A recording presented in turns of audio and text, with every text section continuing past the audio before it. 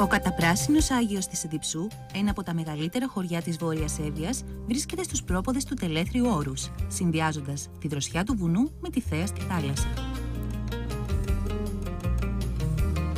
Ο Άγιος δεν έχει όνομα, αφού κατά την τουρκοκρατία, κατά μία εκδοχή, ένας γέροντας χωρίς όνομα εμφανίστηκε και προειδοποίησε τους κατοίκους για επερχόμενη επιδρομή των Τούρκων. Η πιο πρόσφατη όμως ιστορία του χωριού, η ζωή των κατοίκων, οι παραδόσεις και τα έθιμά του, κλείνονται σε έναν ιδιαίτερο χώρο, διαδραστικό, όπου οι επισκέπτες μαθαίνουν το παρελθόν και το σήμερα. Αριστερά βλέπει ε, την κουζίνα, το καθιστικό που είχαν τότε για να, την τραπεζαρία για να τρώνε οι απλοί άνθρωποι. Υπάρχουν διάφορα από, τους, από τις πιο απλές λαϊκές τάξεις με τις, ε, και πιο προοδευμένες οικονομικά. Μπαίνουμε στο δεξιό μέρος, υπάρχει ένα αφιέρωμα στον ε, γιατρό Δημητρίου, Γιάννη Δημητρίου, ο οποίος ευεργέτησε αυτόν τον τόπο με την ιατρική του. Κατεβαίνουμε στον κάτω όροφο, στο, στο, στο υπόγειο. Εκεί είναι ο αργαλιός και οι παλαιές φορεσιές, ε, το κρεβάτι που είναι στρωμένο, έχει αυτή την ενότητα. Και στον πάνω όροφο υπάρχει, ε, είναι ο, ο τομέας των επαγγελμάτων, η αγροτική ζωή και τα διάφορα μεταποιητικά επαγγέλματα που έγιναν, ζούσαν μαζί όλοι αρμονικά.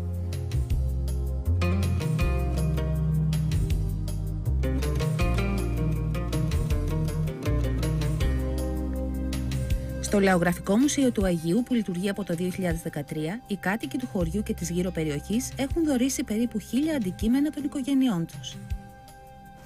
Αυτά που βλέπετε εδώ τα εκθέματα μας συνδέουν άμεσα. Βιώματα πολλά, ας πούμε το μπακάλικο που βλέπετε εκεί. Εδώ το χωριό μας είχε Σωτήρα, αν δεν κάνω λάθος, 6-7 μπακάλικα. 6-7 μπακάλικα. 6-7 μπακάλικα, γιατί το χωριό είναι μεγάλο. Ήταν το μεγαλύτερο χωριό εδώ της περιοχής μετά την Ιστιαία. Έτσι. Το δικό μας το μπακάλικο ήταν και τα βερτάκια. Δηλαδή, ο πατέρας μου, συγχωρημένος, είχε δύο τραπεζάκια σιδερένια που το βράδυ ε, ερχόταν δύο οι παρεούλες, οι ηλικιωμένοι γεροντάκια και πίνανε το κρασάκι τους στο κατοσταράκι και ο μεζές, αν δεν ήταν χειμώνας, που τα τραπέζια και τα συνόδια το μαγκάλι για τη θέρμανση, δεν υπήρχαν ε, σόμπες και τέτοια πράγματα. Ψήνανε ρέγγες. Η ρέγγα ψητής στο μαγκάλι ήταν ο μοναδικός μεζές. Τους άλλους μήνες που δεν υπήρχε το μαγκάλι, στραγάλια και σταφίδες. Θυμάμαι την τότε κοινωνία, τον τότε κόσμο, ο οποίος ήταν, θα έλεγα, πιο δεμένος, ε, πιο κοινωνικός, ε, συμμετείχε ε, όπως λέει και κάποιος ποιητής, ότι αν υπήρχε κάποια θλίψη στο χωριό ήταν για όλους, αν υπήρχε χαρά ήταν για όλους.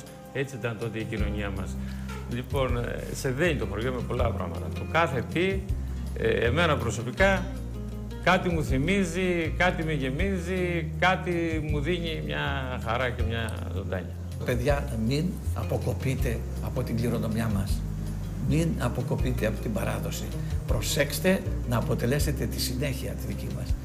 Αυτό είναι το μεράκι μου, αυτό λέω συνέχεια και θα το λέω όσο είμαι ο Αρθεός και θα μπορώ να επικοινωνώ με τα παιδιά που με αγαπάνε και πιστεύω ότι τα αγαπάω και εγώ πάρα πολύ.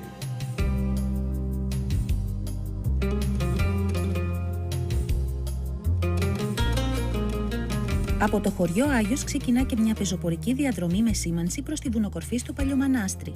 Μια διαδρομή που διαρκεί μια μισή ώρα μέσα σε πυκνό δάσος και την κάνουν οι νέοι της περιοχής και τα μέλη του πολιτιστικού συλλόγου, προσπαθώντας να κρατήσουν την νεολαία κοντά στο χωριό.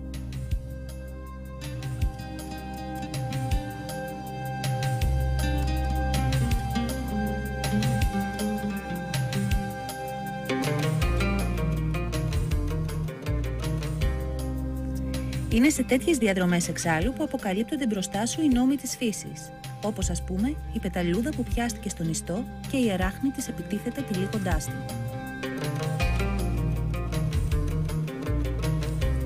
Το εκκλησάκι της Παναγιάς στην κορυφή του βουνού που οι ντόπιοι ονομάζουν Παλιομανάστρη γιορτάζει στις 23 Αυγούστου. Παλιομανάστρη γιορτάζει 23 Αυγούστου. Όπως βλέπετε προσπαθούμε κάτι να φτιάξουμε, να μαζέψουμε κόσμο. Να είναι καλά τσοπάνιδες στις περιοχές που δίνουν τα κρέατα Έχουμε φτάσει μέχρι 20 χοντρά, όπως λέμε εμείς εδώ να μαγειρεύουμε. Τα προσφέρουμε δωρεάν στον κόσμο. Κοντά στα ερήπια του ναού του Αγίου Δημητρίου, ένα ιστορικό διατηρητέο μνημείο, συναντήσαμε και μια ομάδα προσκόπων. κορίτσια που ταξίδεψαν από το Βέλγιο για να επισκεφθούν περιοχές της Βόρειας Εύβοιας και να βοηθήσουν τα προγράμματα εθελοντικού καθαρισμού. Ε, τους αρέσει πάρα πολύ η θάλασσα, ο ήλιος, αυτό.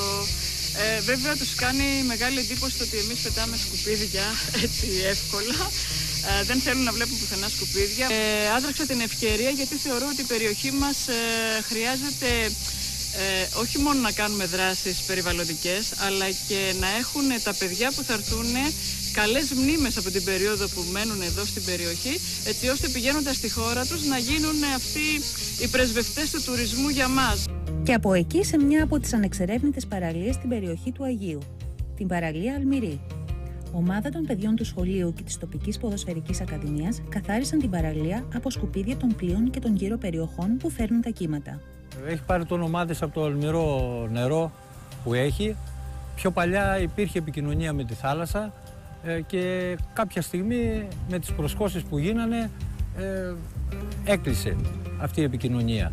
Ε, τώρα, τώρα το νερό που μαζεύει είναι το νερό της βροχής που έρχεται από, τα γύρω, από τους γύρω λόφους. καθαρίσαμε την παραλία, μπορέσαμε έτσι να βοηθήσουμε και την Ελλάδα να έχει πιο καθαρές παραλίες ε, και χαρήκαμε μετά μόλις είχε τελειώσει αυτή η προσπάθεια γιατί τα σκουπίδια είναι ένας πάρα πολύ μεγάλος εχθρός του τουρισμού της χώρας μας.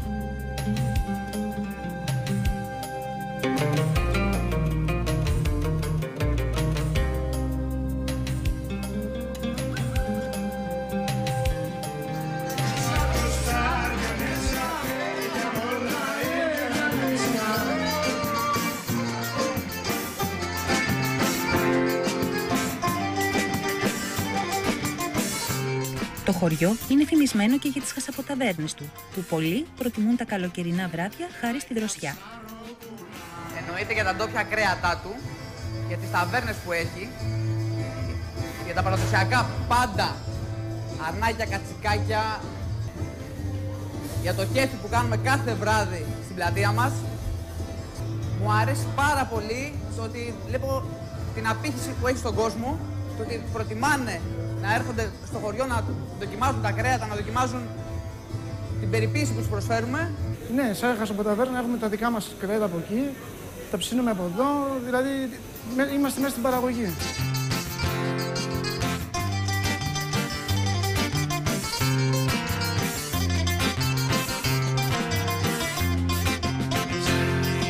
ψαροπούλα